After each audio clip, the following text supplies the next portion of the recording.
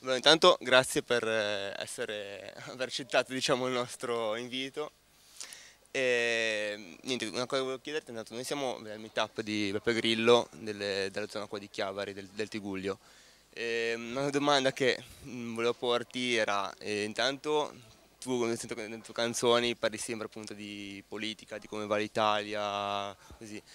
E mm, una domanda tipo cosa pensi sul discorso della, dato che c'è stato anche il recente V-Day appunto Sì. sulla libertà di informazione, qual era diciamo, cioè, il tuo pensiero, la tua opinione? Beh, Ovviamente credo che tutti siano a favore della libertà di informazione. Libertà di informazione significa soprattutto la libertà di informazione non è come viene intesa in Italia, cioè che ognuno può dire quello che vuole, eh, diciamo, trascendendo dall'oggettività della notizia. Per cui oggi in Italia compri un giornale di destra e avrai la versione di destra, quello di sinistra, quella, quella non è il pluralismo.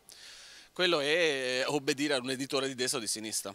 Eh, eh, per me la, la libertà di informazione è la libertà di dire le cose come stanno, senza nascondersi dietro un dito. Cioè quello che succede magari in posti più fortunati di noi dal punto di vista informativo. Ovviamente ci sono i giornalisti che lo fanno. La mia speranza è che eh, si cominci a raccontare il fatto, cioè quello che avviene rea- realmente, senza aver paura di offendere l'una o l'altra parte politica, questo bipolarismo che oltre ad essere politico è diventato sociale. No? Quindi questa è la mia speranza. Quando vedo un telegiornale e scopro che non si parla del- di un fatto, di una- di un avvenimento, di un qualcosa di concreto, ma su quella cosa che è avvenuta e che non viene spiegata c'è il solito ricamo delle figure politiche e, delle- e dei loro pareri su quella cosa, lo trovo paradossale. Cioè, io sento pareri su cose che non so, che non conosco e quindi boh, il tentativo di mh, portare libertà nell'informazione credo che sia l'informazione alla fine all'inizio della scala eh, comunicativa e poi bisogna portare libertà ovunque.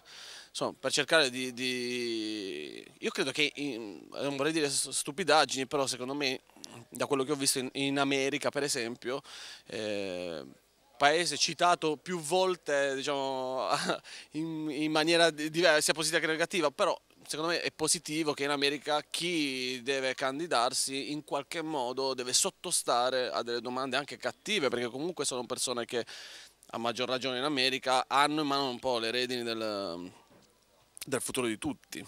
Allora, visto che hai parlato di America, allarghiamo un po' l'orizzonte. Forse la domanda è banale, eh, però ti chiedo, secondo te se riuscirà Obama a portare l'America fuori dal tunnel?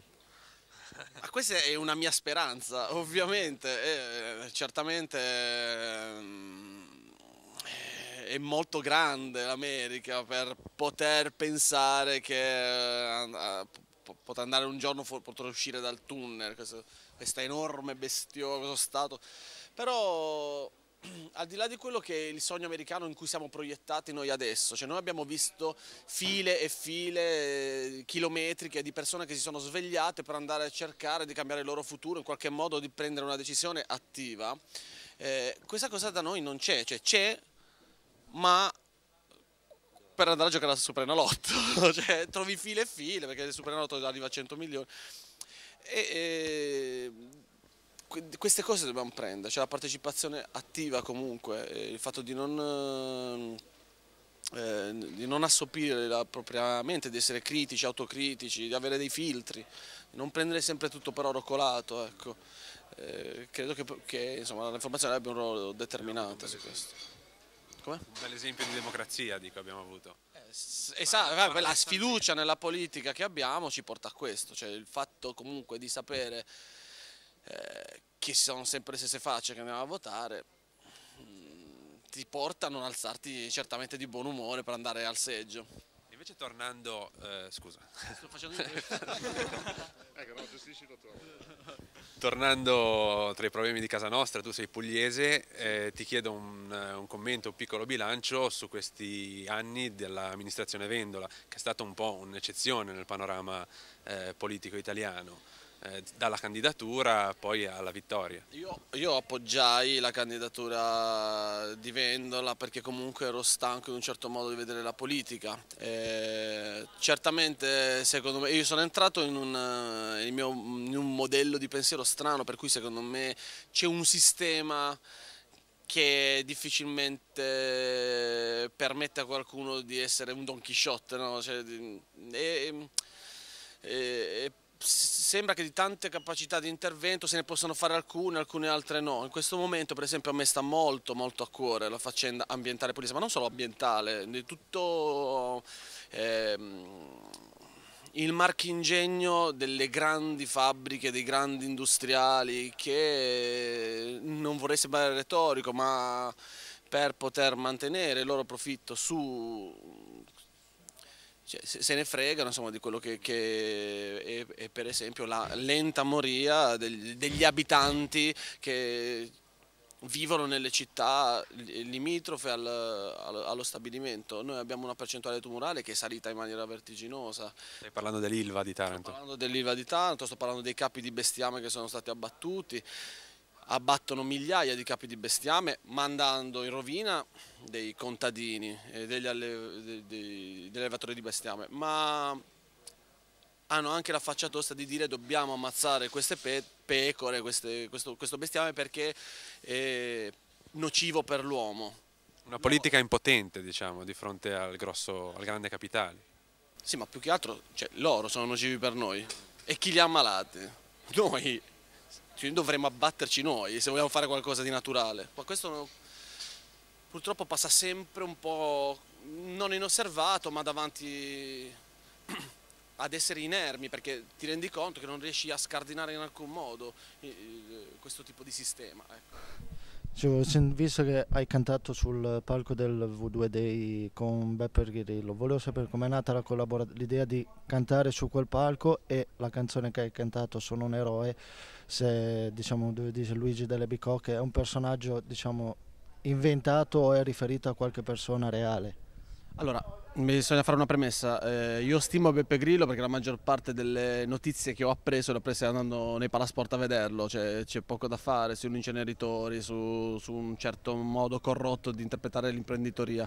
E quindi per me eh, era bello essere lì e in qualche modo a condividere il suo modo di fare eh, comunicazione. Eh, ho portato Sono un eroe che è ispirato a un personaggio che non esiste, nel senso che Luigi Delle Bicocche è un personaggio X, eh, nel quale però si riconosce gran parte della popolazione lavorativa italiana che si trova insomma, nelle situazioni. Ho cercato di scrivere un pezzo senza commuovere, in realtà ha dei momenti, però perché comunque ehm, mi piaceva l'idea di disegnare questo personaggio, non eh, tanto di voler fare quello che rappresenta chissà cosa e voglio essere contemporaneo, rappresentare la realtà, la, la realtà di fatto è che il primo articolo della Costituzione non ha alcun valore oggi e quindi questo volevo comunicare e, e niente. E dell'attività dei meetup cosa ne pensi? Sono contento perché comunque è una stravaganza, nel senso eh, che rappresentate una piacevole anomalia nel sistema informativo italiano, cioè date forza a, a, a, a dei pensieri, a delle senza, la, la, senza le, il bisogno della televisione. Eh, noi ne parliamo spesso, eh, quanto sia colpa della gente eh, che non riflette, che non, eh, che non, si interessa alla vita del paese, eh, che tutti dicono gli italiani non frega niente, e quanto sia colpa che la gente non sa le cose, oppure eh, cioè, quanto è colpa diciamo, della gente, quanto eh, gli italiani dovrebbero un attimino, eh, per esempio andare su internet e cercare di, risolvere la situazione. Sì, allora, secondo me c'è un, un, sicuramente una grande colpa eh, nel sistema comunicativo, c'è qualche falla perché non vengono fuori le cose. C'è anche da dire che in, in un, tanti anni così si sì, le persone si sono abituate a questo tipo di pensiero, per cui io ho sempre detto adesso vedo tre fasi, quando un politico eh, fa il furfante, no? fa le leggi per sé, eccetera, c'è la prima fase che è quella di indignazione, no? che è quella che più o meno spero abbiano attraversato molte persone, anche se ci sono quelli che poi c'è stata la fase dell'indifferenza, sì, ma basta, non ne parliamo più. E, e ora c'è la fase dell'emulazione, ma si fa bene, l'avrei fatto anch'io, capito? E queste tre fasi sono dovute, secondo me, ad un uh, abbassamento del, del, livello critico del, del, pensiero di tutti questi anni di cattiva televisione, in fondo, perché la televisione è stata il primo, um, il primo canale informativo, secondo me. Cioè, la gente quello che prende, apprende dalla televisione lo apprende ex cattedra, come diceva Pasolini, cioè diventa legge. E per cui se tu in televisione dici una stupidaggine e due secondi dopo dici che non l'hai detta, rimane il fatto che tu non l'hai detta, anche se in realtà perché è l'ultima cosa che hai sentito in televisione. Non. Non sì, siamo un po' poco critici. Eh, tu pensi che internet rimarrà eh, libera, tra virgolette, o, o riusciranno a imbrigliare anche quella? Eh, pensavo a, anche a Obama, con la sua compagna che ha, ha usato molto internet. eh, Spero che rimanga libera. Però sono, sono un disilluso, ma spero che rimanga libera. Ok. Grazie mille. Grazie mille.